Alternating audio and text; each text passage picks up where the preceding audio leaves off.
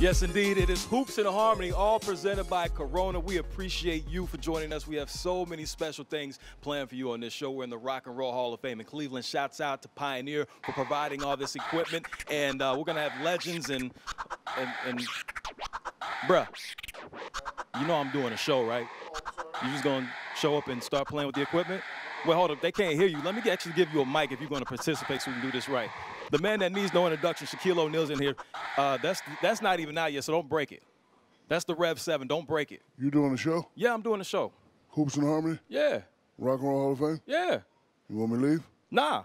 Okay, well. Let's do this. So so that's I'm standing over here. You want me to stand on your right? Actually, I just wanted I was, you know, hoping you didn't break it, but you can stand there for a second. But I know you're more comfortable with the CDJs that you rock Yeah, with. so go I'm- I'm- walk I'm around me and, and get situated because First of all, you're not this tall. I just want the world to know you're I mean, not you're just this gonna, tall. gonna put me on blast like that. No, no, That's go okay. ahead. Okay. So, um, with that being said, you've obviously been the trendsetter. You laid the foundation. I just need to know where did the, the the motivation come from to record the DJ Diesel album back in the day? Where did that motivation come from? It came from the Jays, The Jays. Dr. J and LL Cool J. Wow. On the way to the court, I didn't have a big boombox, but I had a nice size one. I'm LL Cool J. I go to the flea market, I get me a fake Dookie rope chain. I got my Kangol hat on. I want to be LL.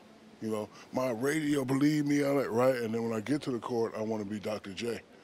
So, you know, when you're on punishment a lot and you're dreaming about what you want to become, look, when MTV first came out and, you know, the radios and, you know, Rock the Bells and I Need Love, I'm like, he's cool. And then I got to go to his concert. Mm. And by this time, I was a high school All American, so everybody in the city knew me. They let me go backstage, and I met LL. And from that day, in 1989, we're still friends. I talked to him last night before the show, because you know he's doing you you know his radio show. He wanted me to send me some of my joints, and I said, brother, I got to give you your flowers for making me me. And then the same thing goes with Dr. J. I wanted to be a great basketball player. Like he, I don't want to use the word save my life, but when I was a medium level juvenile delinquent, I watched a movie called The Fish That Saved Pittsburgh. It was about Dr. J, and I was like, you know what? I want to do this. And then my father said, you okay? You want to be like him? First thing I need you to do is start doing better in school. So I'm focused on my education. I got all C's. I'm not going to sit here and act like I'm an A and B guy. I get all C's. My father takes me to the garden. We're sitting way up top. Dr. J goes baseline. The crowd goes crazy. It's like something just entered my body. Was mm. Like when, when he dunked and the crowd stood up, it's like the basketball guys just entered my body. And I look at my father and I said, Sir, this is what I want to do when I get older. And he said, If you listen to me, I'll make you the most dominant big man ever. So shout out to the Jays, LL Cool J, and Dr. J. No question, you were the most dominant ever. We know that. Set the foundation, as I mentioned. But what about the impact of music overall on your game? Pre-game, in-game, post-game. How big of a role did it play for you? You know, music takes me to a place that I didn't know I can go. So, you know, like when I started doing albums, I didn't want to be a rapper. I just wanted to do songs with my favorite people. Mm. Because, uh, you know, I went on the Arsenio Hall show. And when I was coming out, I wanted to come out with a bang, right? So I called Arsenio and I said, I don't want to just wear a $20,000 suit and you ask some questions and I go, I want to do something different. And he was like, what? I said, I want to rap with my favorite rap group, who was Fu-Schnickens at the time. After that, my agent calls and said, man, you're not going to believe this. I said, what? A three album deal for $10 million. And I'm like, what? And then I, I kind of went, like I signed the court, but then I went home, but like, I'm not a rapper. So then I came up with the concept. I went back to them and said, I'll accept this deal if I could rap with all my favorite rappers.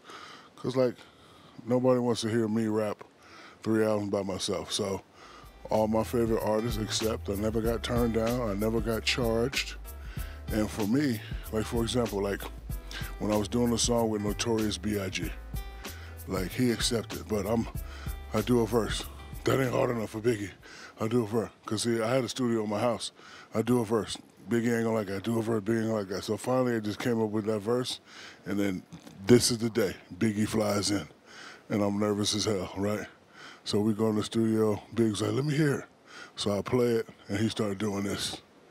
And then he starts smiling. I'm like, "Ugh, Biggie likes it. Biggie likes Right. it. So after we got that out the way that my verse was okay, like, listen, I, I already know when I'm on the track with guys that are superior, I'm not as good as them, but I ain't gonna make them look bad. Facts. See what I'm saying? Right. So I said, Biggie, here's a pen and a pad. I'm gonna go in the house.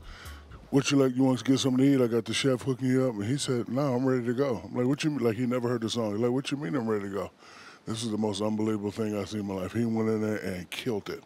Mm. 45 seconds. But it was kind of vulgar, so my hand is shaking because I'm out there with the engineer and I'm like, uh, Biggie, that was the dopest verse I ever heard. He said, Oh, that's right, Shaq, for the kids, for the kids. Right. And then he came back with the other verse. I still got the original verse. I'm never gonna release it. You gotta let me hear it. Oh, I'm gonna let you hear it. Okay. He, he went off. okay. Yeah. I He went all the that. way off. So, but like music is just take me away from being a basketball player right quick. Like so, when I was in LA, Death Row had it on lock. So anything Death Row just. Cause I gotta get in that hard feeling now. Like I know no R and B, no Yeah. soft stuff. It's always dun dun dun dun. Like I just had to be, cause you know I know they was gonna be doing a Hack-a-Shaq. and They were gonna be trying to beat me up. So Right. I always had to always had to come hard and come hard. Pause. but I'm a creature of habit. So if I listen to a song and get 50 points, I'm gonna listen to that song all year. Yes, indeed. Well, this is what we're gonna do. Can you hang out with me for a little bit? Depends on what you want me to do. Well, I mean, we're gonna do something that we're gonna have some fun with. How about that? What you trying to battle me? Battle you? I mean, why not? No, I ain't talking about that. I'm talking about some lyrics. So hold on for a second. While he's talking about that, he's gonna be back in a little bit on the show. I'm telling you, it's gonna be crazy. We're gonna go viral. You don't want to miss it. oh, you want to battle me? We're gonna go back and forth with the bars? Let's do it. All right, deal. I'll be back. You heard what he said.